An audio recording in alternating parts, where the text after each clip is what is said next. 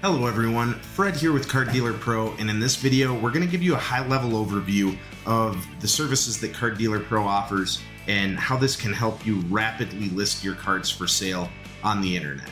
So we're not going to go into detail in every aspect of this, we're just going to hit on the major features at a very high level. We have tons of other how-to guides that will help you dive into all of the features in more detail if you want to see those, so I encourage you to check those out. And as always, feel free to use the support link down in the right corner of the website to set up a demo with us or get in touch with us through our contact page. We're happy to do a customized one on one demo and show you how this can help your business. So, to begin, Card Dealer Pro allows you to create what are called batches of cards to list for sale. So, a batch is simply a group of cards that you want to rapidly list for sale across Shopify, eBay, Amazon, uh, CollX, Marketplace, you name it. So to begin with, we are going to create a new batch, and we are going to call this batch example batch. We can fill in details and information that will apply to all of the cards that we're going to put for sale. So we could put in inventory location of where we're going to store those so we know where they're at. In this particular example, I'm going to list these for sale on eBay.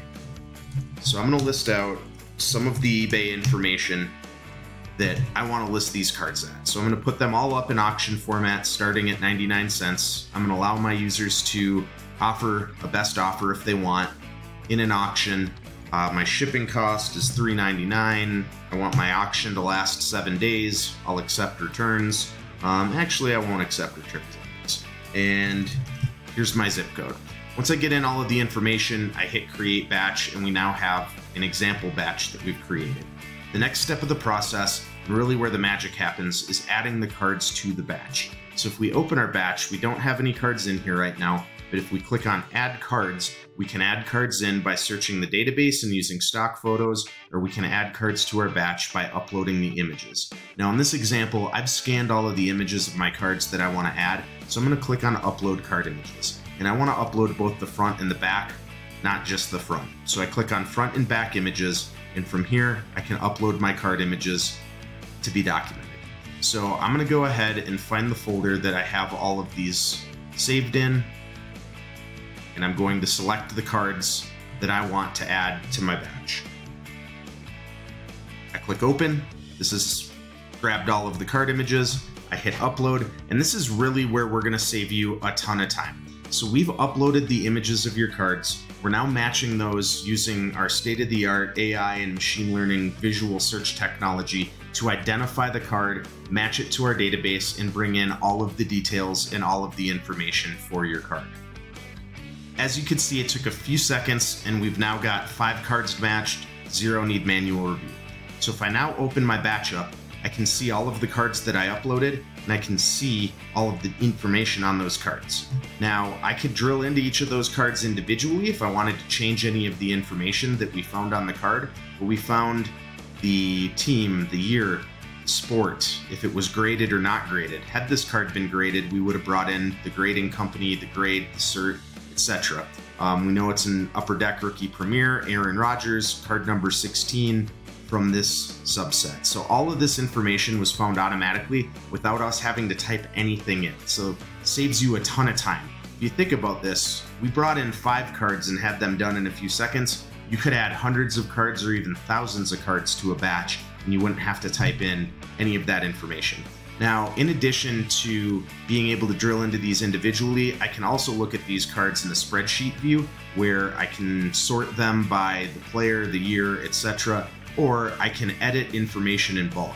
So as an example, if I scroll over, I notice that I forgot to put in what I want my shipping price to be for these cards. I'm gonna hit fill column, choose shipping price, and type in 3.99 and hit fill. I now have 3.99 for the shipping price on all of these cards. So ways that you can quickly edit all of the information. Now, another really great feature of Card Dealer Pro is I like to brand my cards so that they stand out in my auctions. My users and my uh, collectors that buy from me love that you know they they can trust me as a seller, and I like my images to look professional. So to do that, I brand all of my card images. what I can do is I can actually click add banner to cards and as long as I've set up a banner in my settings, this will now apply my personal branding to all of my card images. So it takes it a couple of seconds to process this, but once this refreshes, it'll show that this has been completed and now I have my branded image on all of my cards. So if we drill back into my batch here, if we look at the card images, we can now see that I have my logo and my advertising for 50 cent combined shipping on all of my card images. Again, think of how much time that saves you and how professional of a look you get when you use tools like these. So at this point, I'm all set. I have all of the information in here that I wanted to list my cards for sale. I simply click on export batch and choose to export them to eBay, hit export, and in just a second, we get a confirmation that that process has been complete and the export is done. So my cards are now being moved over to eBay to be listed for sale. If we go over to my eBay account, and let's navigate to my listings. I now have the five cards that we documented and sent over for sale. Now, many other cool features within Card Dealer Pro, including the ability to see the market information for a card's value, to be able to rapidly look up recent sales on eBay without having to type anything in, or to see what other sellers have a card for listed for sale. So we give you tons of tools to speed up the ability to price your cards and know what to list them for if you weren't listing them in an auction format and say you wanted to do a buy it now. We give you all of that info. Um, same thing within the spreadsheet view. You can click on any card that you have within the batch to see the card on the right, to view, zoom in on the images, to see the value information, and to get those links on recent listings, active listings, etc. So many other things that Card Dealer Pro does, but this is just a very high level overview to show you how this could turbocharge your business to be able to list, you know, hundreds, even thousands of cards within an hour. Um, we partner up with Fujitsu auto feed scanners. With those, they can scan and document about 100 cards a minute. So 6,000 cards an hour if you continuously feed cards through those scanners. I mean, this is a game changer for you and your online card shop and how quickly you can get things listed.